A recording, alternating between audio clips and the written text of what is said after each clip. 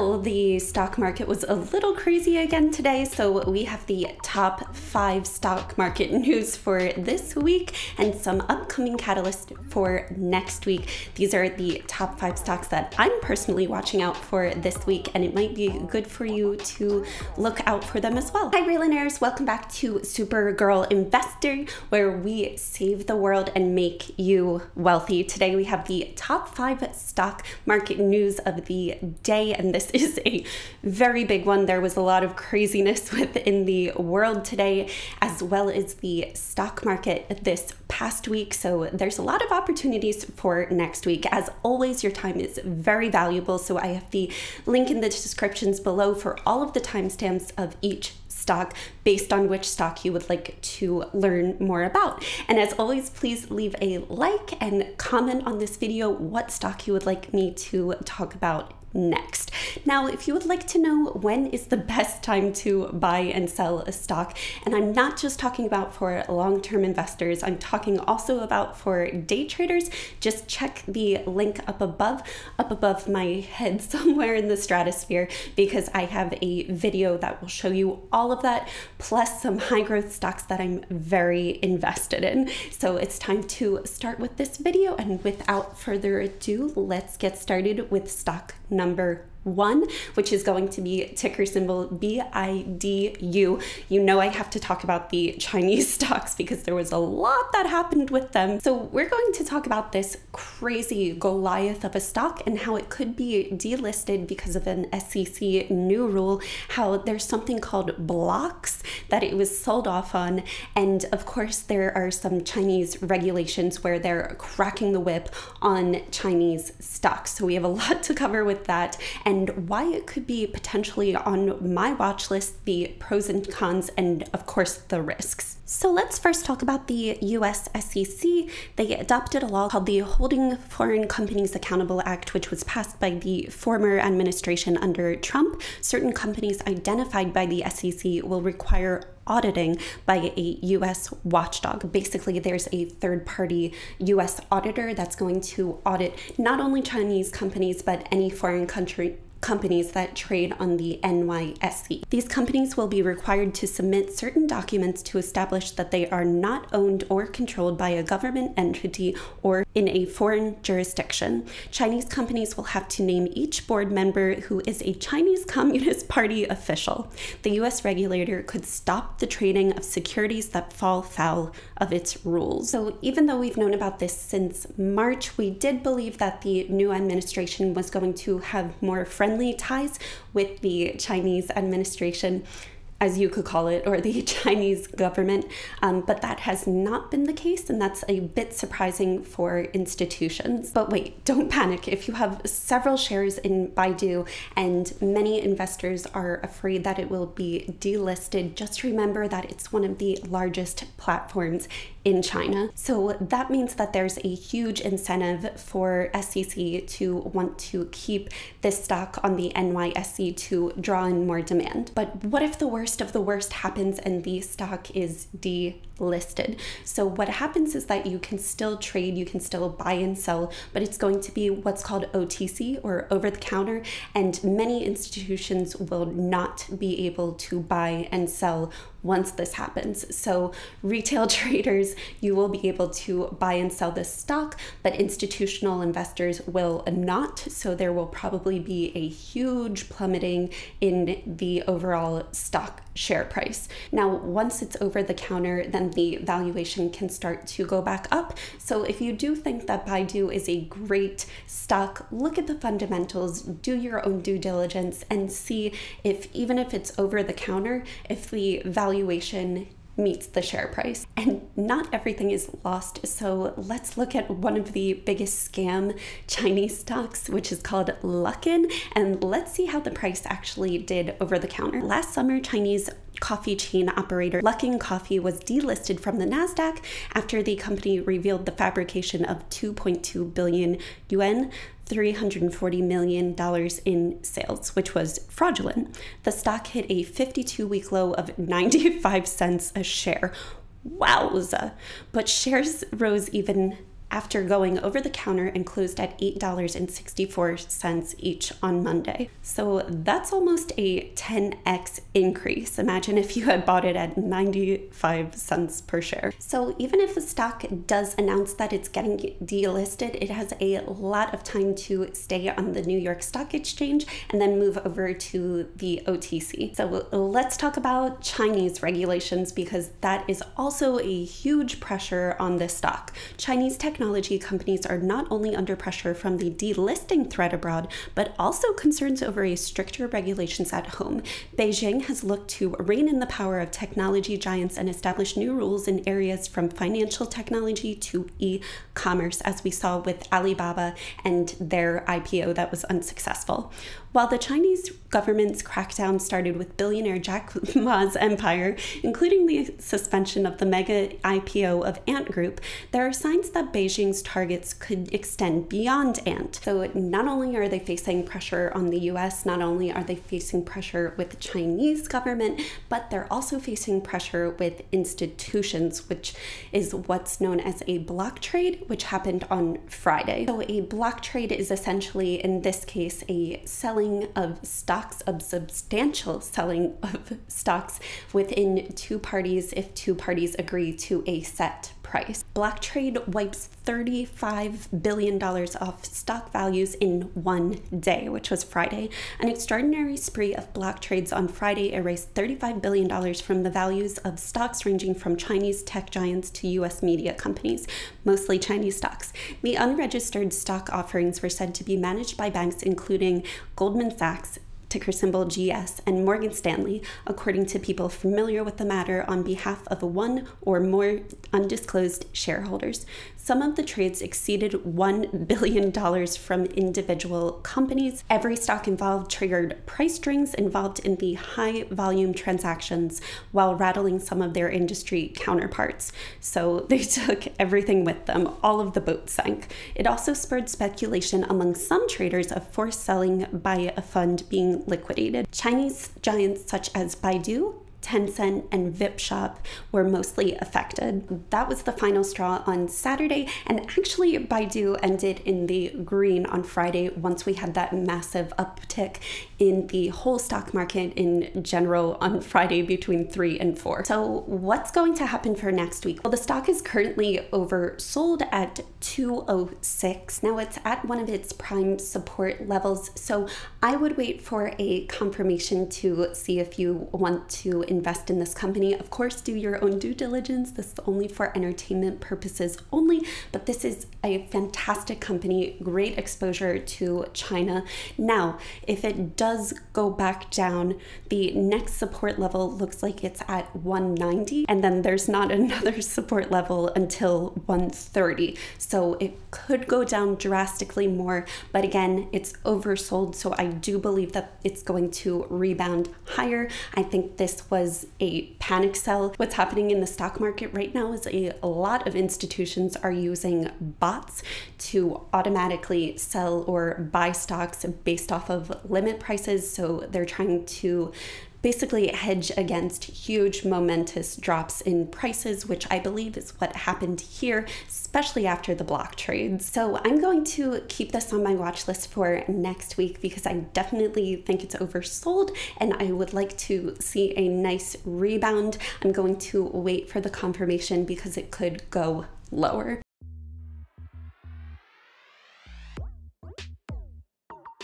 Stock number two, we have ticker symbol PATH, which is UiPath. This is a $35 billion automation software maker, and it just announced news on Friday of filing for an IPO. Now, if you would like me to do a deep dive on this, I'm definitely very interested in this because it does have to do with the healthcare sector as well. It's in several sectors and it has huge revenue growth. It's supposed to be a really great company Just comment down below that you would like me to do a deep dive on this and what I'm personally going to be doing. But for now, let's talk about the company, about the upcoming IPO, and I will tell you a little bit about what I'm doing. Oh, and there's some great news from SoFi about pre IPOs that retail investors can get involved in very soon. UiPath, a software maker valued at $35 billion after a funding round this year, filed for an IPO showing revenue increased 81% year over year. The company, in a filing Friday, listed the size of its IPO as 1 billion dollars, a placeholder that could change when it sets terms for the share sale. The listing will be in the top tier of IPOs in an already record setting year. Of the 408 companies that have raised a combined total of $141 billion in NYSE since January 1st, only 19 have hit or exceeded $1 billion mark. UiPath specializes in robotic process automation technology, software that helps companies save time and money by automating repetitive manual tasks such as entering data into spreadsheets. It competes with Automation Anywhere Inc., which is backed by SoftBank. So essentially, workers don't have to do monotonous paperwork anymore over and over and over. Instead, robots can do this and it's automated. The company, which started in Romania and is now headquartered in New York, this was six years ago, said in December that it is filed confidentially for an IPO. This is really a company that worked its way from the ground up from being in Romania with about 10 people to now what they are, which is a huge conglomerate, into a multinational business in nearly 30 countries with $580 million in ARR, or annual recurring revenue. Generated a net loss of $92 million on revenue of 600 million $608 million in the 12 months ending January 31st, the compared to a net loss of $520 million on revenue of $336 million a year earlier. So their net loss is narrowing. It burned less cash for the year ended January 31st, disclosing positive operating cash flow of $29 million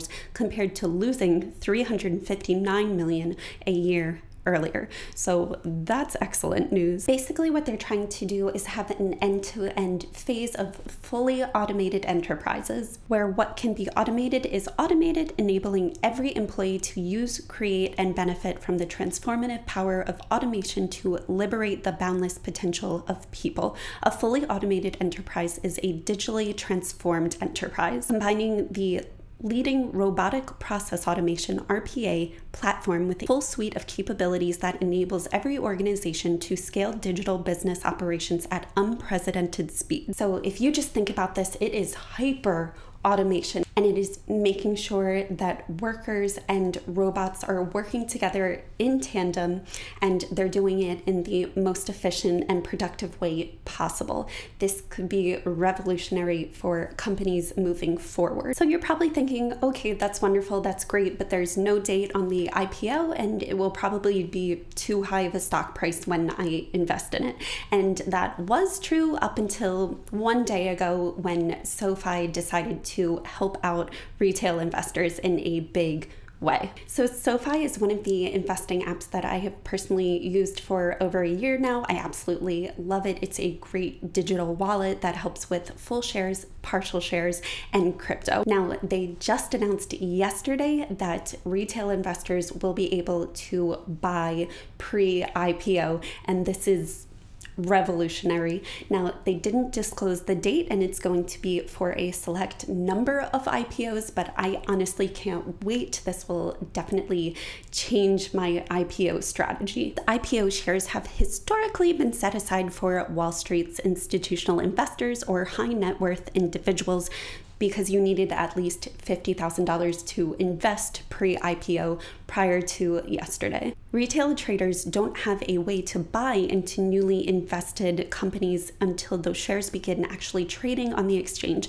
By that time, the price has often gapped higher much higher.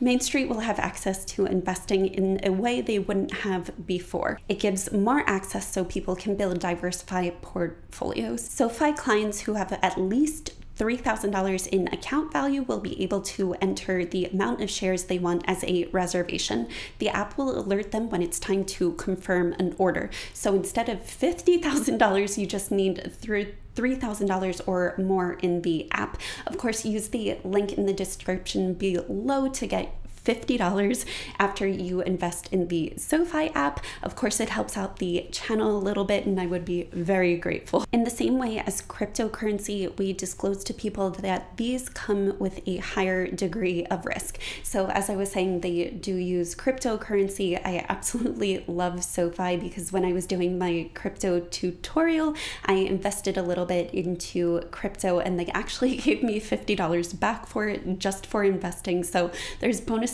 galore. But of course, crypto is very risky. IPOs are very risky. That's why I personally tend to use my risk management and not go into any IPOs. I just wait until the stock goes into its earnings report, at least its first earnings report, and then I decide whether I want to go in or not. But these two pieces of news are absolutely exciting, and if you want to get in on the pre IPO, I hope that Path will be able to be up for a pre IPO on SoFi. But if it's not, there's many more IPOs that we're going to discuss on this channel that you will be able to invest in pre IPO thanks to SoFi. But let's say that UiPath, let's forget about the pre IPO. What am I going to do about it? As I said, Normally, for IPOs, I do not invest in them even after a week. I like to see the trends. I like to use chart patterns. I like to make sure that their earnings reports are very good and they have consistent growth year over year. So I'm just going to wait until their next earnings report and then I'm going to decide what to do. Of course, I'll update you.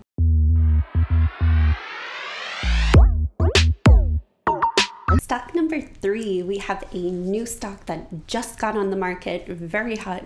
It's ticker symbol SPFR. This is a SPAC that's merging with Jaws Spitfire, and I am incredibly excited about this. If you are a Tesla or SpaceX bull, this is for you. Also, if you're involved with ARK K, this is for you as well. So next week, there's a catalyst coming up for this, and we will talk about that as well. So let's look at the news articles about why I'm so so bullish on this company. Shares of blank check company SPFR are on the move Thursday morning as investors are getting a better sense of its planned tie up with Velo 3D. SPFR stock was up 3% in pre market trading. SPFR came public in December, raising $345 million in an IPO on the expectations it would focus on growth oriented consumer technology and related businesses. Velo 3D specializes in tech for 3D metal printing boasting of its ability to manufacture previously difficult geometrics and forms, especially in space exploration. Elon Musk was interested in buying Velo 3D, though the tech maker didn't want to sell it. That's when you know it's good. I also found this very interesting. The ARKQ Cathie Woods investment ETF targets 3D printing firms. That fund recently took a position in Velo 3D, buying over 700,000 shares of SPFR stock, and SpaceX is actually already a customer. The 3D printer's proprietary full stack 3D metal printing solution enables the production of mission critical components for space rockets, jet engines, fuel delivery systems, and energy production with better performance at faster speed and lower cost than traditional methods. Now it's used for the Falcon 9, Cathie Woods uses it, and an upcoming catalyst is that Cathie Woods is going to announce her ARC X any moment now. And that is da, da, da, da, about space exploration. And this could be a stock that's on the list. Now, that would be wonderful because it would be exposure to SpaceX. I think right now this stock is undervalued, in my opinion. I think it has much more room to grow. And if Cathie Woods wants to take it under her wing, which may or may not happen, again, do your own due diligence. But I think there's a good chance that it will happen. If you want to invest in this, I would just make sure you do it on a dip. But I think this is a great long term play space exploration is supposed to skyrocket within the next five to 10 years.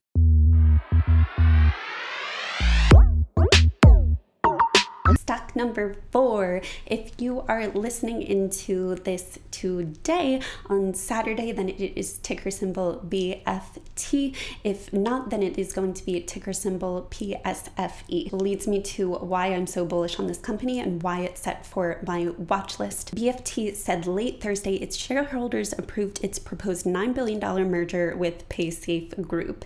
The newly combined company will operate as Paysafe and start trading on the NYSE under the symbol PSFE on March 31st. As with all mergers, usually on merger day, there is a huge volatility within the stock price. We saw this with ChargePoint, it went all the way down, but we also saw this with a lot of other SPACs that went all the way up after their merger. So it just honestly depends on the luck of the draw. I would not recommend to buy it on the day of the merger. I would wait until there is an exponential sell off or an exponential run and then reevaluate, see what your buy targets are, and see what price you would like to get in. This is really huge news. I'm so excited about this because this is a long time coming and just wait for a dip or a pullback after the merger. They there could be a huge sell off, which is a good time to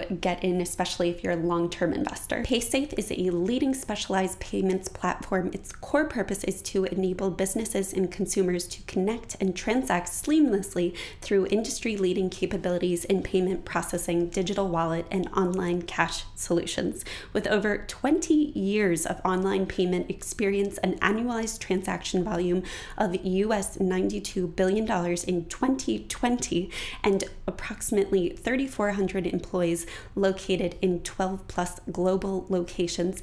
Paysafe connects businesses and consumers across 70 payment types in over 40 currencies around the world. So, this is a global fintech leader. It's with digital wallets. Again, this is a huge industry in the next five to 10 years, so pay attention to this one. Delivered through an integrated platform, PaySafe solutions are geared toward mobile initiated transactions, real time analytical analytics, and the convergence between brick and mortar and online payments. Now, a lot of investors have been waiting for this moment like crazy. They have been having their popcorn, and now that they're on the buy the rumor, sell the news, there's probably going to be a very big sell off. So I would just wait until that and then buy in once there's a confirmation.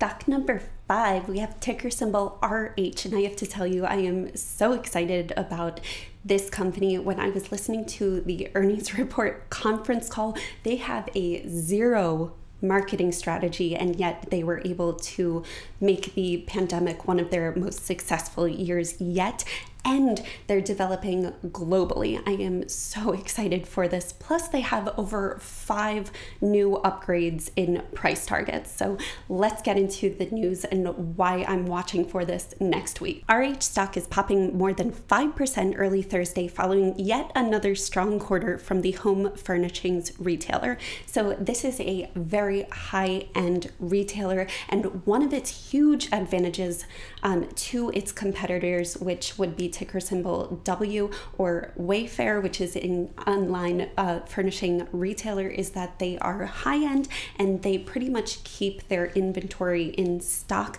to meet the demands that they have. They have a really good balance between that, so it is much more efficient and saves a lot of time. Its forecast promised more growth to come earned 130.2 million or $4.31 a share in its fourth quarter. Revenue rose 22% year over year to 812 $4.4 million. Analysts were looking for EPS of $4.75 on revenue of $797.4 million. Looking ahead, it sees revenue climbing 15 to 20% this year from ongoing strength. The company noted it had gained significant market share with demand up 36% in the fourth quarter, accelerating to 73% in February and 96% in the first two weeks of March. I have to tell you, when the earnings report was coming out, the CEO is very wonderful to listen to. If you are an entrepreneur or have a business, he is just amazing and brilliant. And I really just wanted to say thank you for his vision because he is trying to disrupt and innovate as the leader of this the high-end furniture space because not only is he going to, into high-end furniture he's plowing through that but he's also trying to create this global luxury band which we we'll get into in a moment. While plenty of investor scrutiny has surrounded pandemic winners as the economy begins to reopen, investors are likely taking heart from RH's upbeat outlook. A lot of investors have thought that this is a good at home play, but it's also a good recovery play as well. Along with predicting an ongoing increase in sales on top of a blockbuster 2020, the company plans to open four new design galleries with eateries and wine bars in North America this year, including Aspen.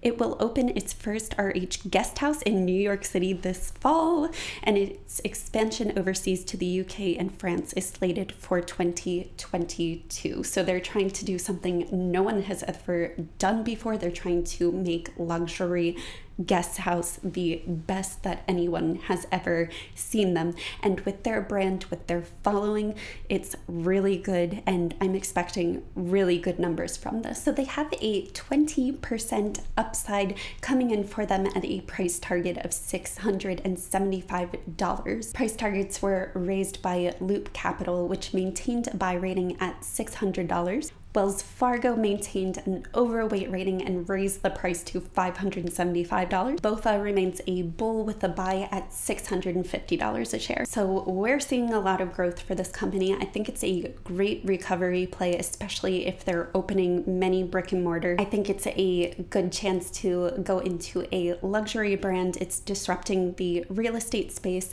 And another company that's also disrupting the real estate space that has 5G potential is ticker symbol symbol VIEW. Now, I'm very bullish on both of these, but if you would like to hear more about VIEW, which are smart windows, then please comment down below that you would like to learn more about it. I would love to hear your response or hear your back and forth. So, why am I watching this and what am I going to do?